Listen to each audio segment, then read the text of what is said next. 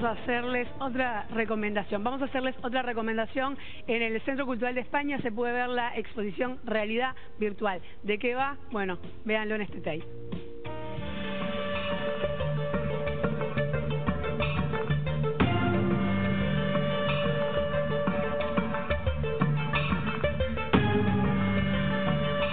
Nos encontramos aquí en el Centro Cultural de España, en el marco del Doc Montevideo, con una muestra de realidad virtual que surge un vínculo con un festival del Reino Unido, que es el Festival de Documentales de Sheffield. Las personas que participen de esta exposición de documentales en realidad virtual e interactivo, lo que van a poder es este, vivenciar lo que se llaman narrativas inmersivas, donde el espectador se encuentra dentro del ambiente este, donde se desarrolla la, historia.